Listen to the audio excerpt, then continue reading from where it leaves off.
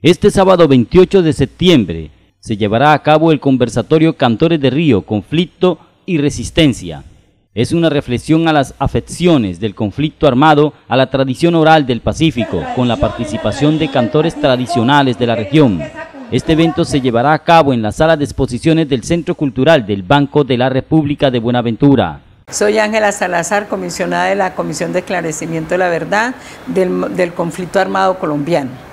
Estoy invitando hoy a toda Buenaventura, pero también a sus alrededores, a que participen en el conversatorio Cantos de Río, Conflicto y Resistencia, que se llevará a cabo este 28 de septiembre, sábado, a las 9 de la mañana en el Banco de la República de Buenaventura.